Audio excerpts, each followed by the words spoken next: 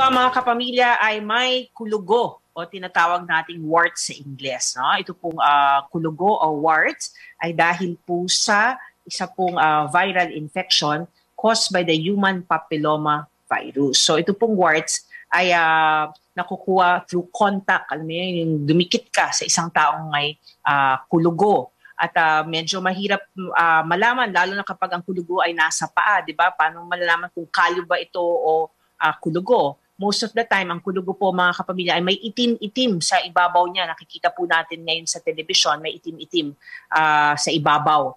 Uh, ito po yung mga capillaries. No? So makikita po natin na buhay siya at maari pang mag-cause ng virus ng pangangapal ng balat. Ngayon, yung kulugo po ay maari pong uh, iba-iba po kasi yung human papilloma virus, iba po, iba po ang numero nito at uh, iba-iba po ang pwedeng labasan nito. Halimbawa, may tinatawag tayong verruca plana. Ito po yung mga flat warts kung tawagin, nakikita sa liig at sa muka. Uh, meron din tayong malalaking kulugo, verruca vulgaris, ito po nakikita natin sa telebisyon.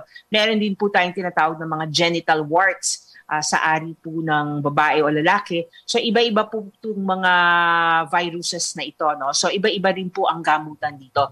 Ngayon, kung common warts katulad na nakikita natin, yung, uh, yung kulugong ganito, uh, maari po natin gamutin yan, isusok lang po natin sa warm water ng mga 10 to 15 minutes at uh, pwede yung pahidan niya ng mga acid na nabibili natin sa mga drugstores, yung may laman na salicylic acid para ito po ay uh, uh, to, uh, to magbalat at matik, uh, matanggal. Uh, subalit kapag hindi ho matanggal, eh, kailangan ho natin magpa-check up sa dermatologist. Kailangan na po sunugin yan. Either gamitan ng cautery, pwede hong gamitan ng pulse dye laser. Laser po, maari rin ho naman pag nasasaktan dito no, sa init, pwede ho lamig ang gagamitin, yung tinatawag na cryotherapy. So paano po natin may iwasan na hindi po tayo magkakulugo? Number one, lagi ho tayo magbugas ng kamay. Pangalawa po, pag may kulugo, wag ho tayong humawak dun sa kulugo at hawakan po yung ibang parte po na ating balat.